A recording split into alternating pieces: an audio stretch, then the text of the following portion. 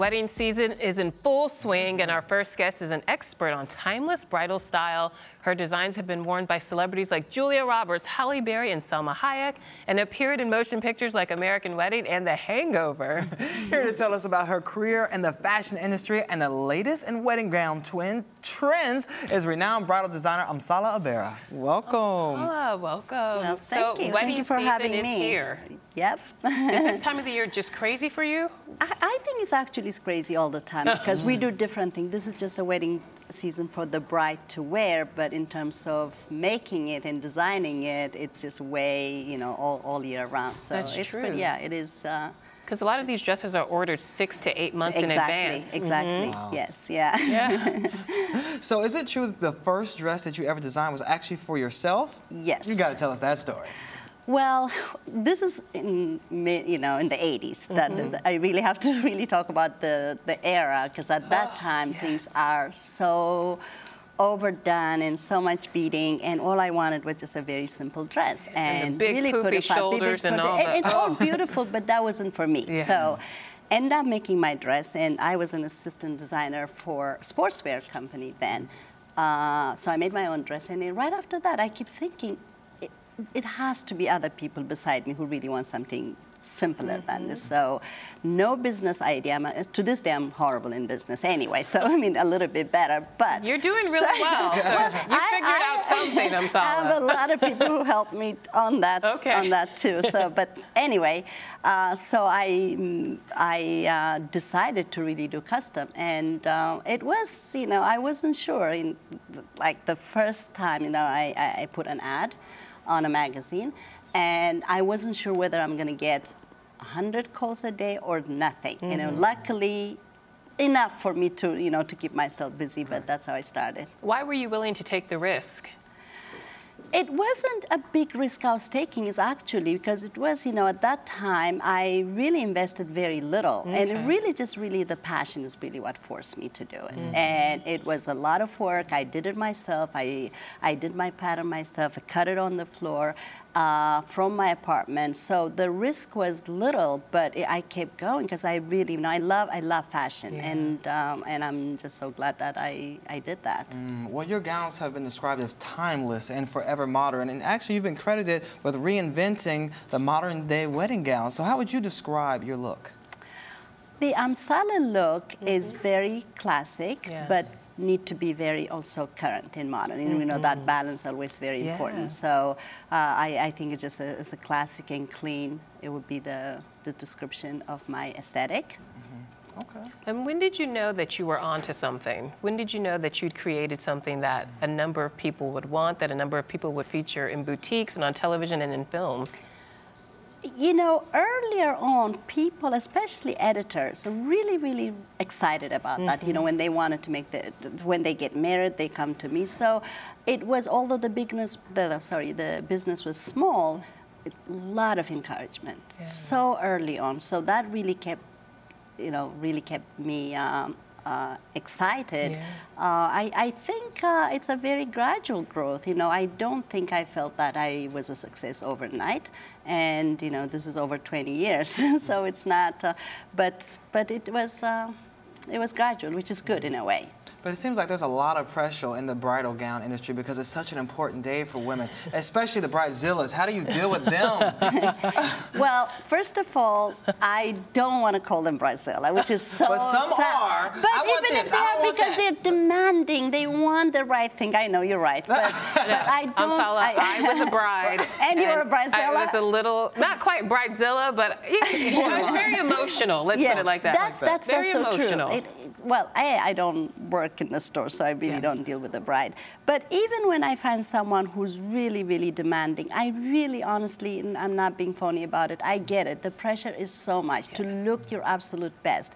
Pressure from family, pressure from your peers. It's just so, it, and it's expensive. The whole thing, you know, that, that mixture of that, I can understand when brides are really crazy about it. And I do like, you know, if you come to our store, mm-hmm. the rule is at any time, and I really mean it, it's a very calm environment. It is so critical for our store to be almost zen-like, and I like it that way. You know, even if they're stressed out, and they get calmer. You know, mm -hmm. just like don't add stress more to them. That's so I and we don't have that much so of a good too. exactly. It always smells so good in there. okay, so how does a woman know when she's found the right dress? And what advice do you have for young brides out there who are looking for that perfect gown?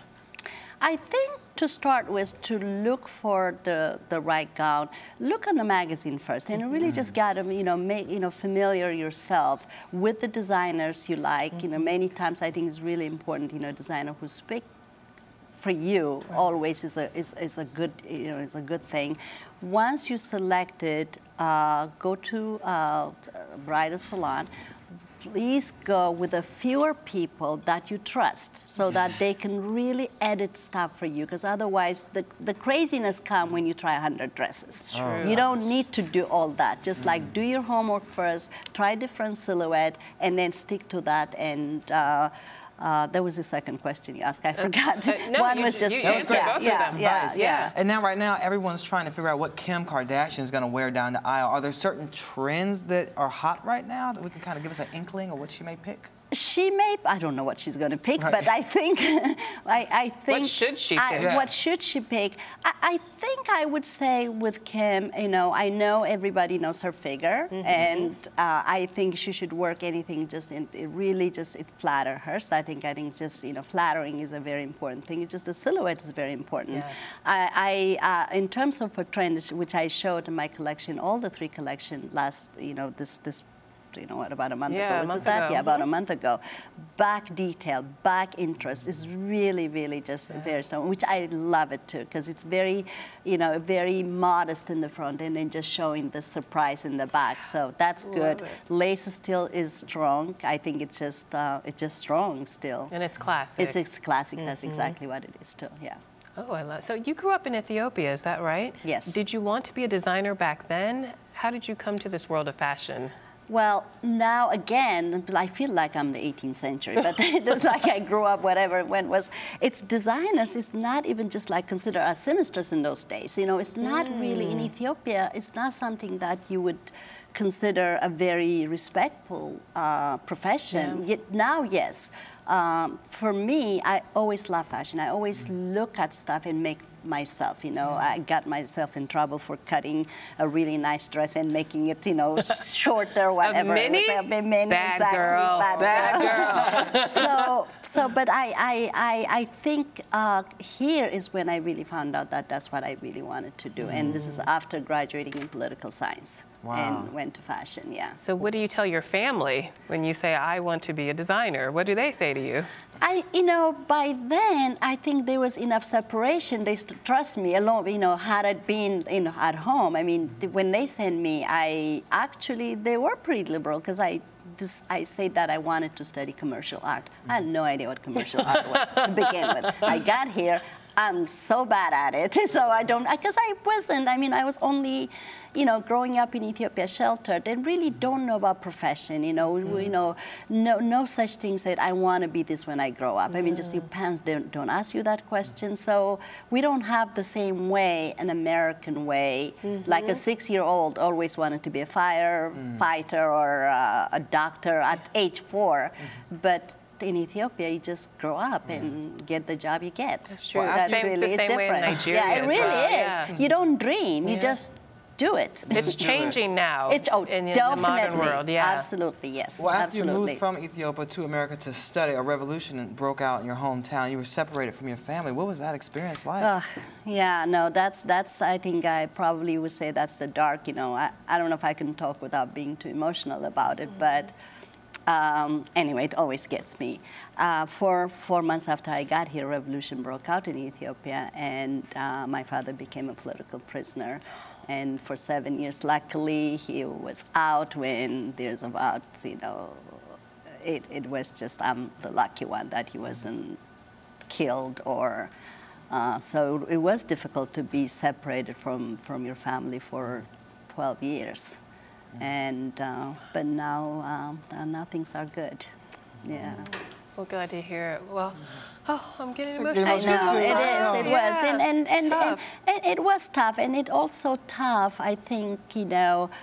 Uh, uh, again, at home, we're so sheltered. Although when I came here, I was 19, I was like 10, you know, emotionally, because it's just like your parents do everything, or you ask your parents to do. It's someone think for you, and then here I am in this big world with foreign language, foreign food, foreign everything, including the weather. So for me to adjust that and to have a political, you know, so for my father to become a political prisoner and uh, and my country to just be upside down, that was, uh, but you survive, human. We really, when something is being given to us, somehow we take it. So resilient, yeah, right? right, tru- Yeah. truly. You did Yeah. an amazing job surviving and becoming successful. Surviving thank and you. thriving. Thank you, Yes. thank and you is it true you have uh, uh, some other diffusion lines as well? That's Kenneth Pool and Christos as well? Yes, it's, Okay. it's actually, there, there are three collection. I mean, one is Amsale, the Kenneth Pool, quickly I can say it. It's, it's for someone who's absolutely dramatic, over the top Okay. kind of girl. It's just the opposite of Amsale. Okay. And which I love Yeah. doing that because it's almost like, you know, it's, yeah, you know what I'm saying? You know, it's the just over a little top, bit over glamour, the top. yeah, ritzy, yeah, you get beyond. ritzy and beyond. Yeah. Exactly, that's a good word. Um, so that's for the uh, the Kenneth Pool, and the Christos is very soft and very romantic and, and, and softer. So I have three collection, and really not by price point. They're divided by aesthetic. So we have like for three different brides, Yeah. and and bridesmaid. Um, we do, which is really, which I'm so proud of our bridesmaid because we we really really um, respect it and take care of it. It's almost it's it's uh, it's it's a beautiful line. Okay. all right, and your for store's everyone. on Madison, correct? Yes. Madison and Six- 60. 625 Madison 625 Avenue Madison. between 58 and 59. Yes. All right. Thank Well, you.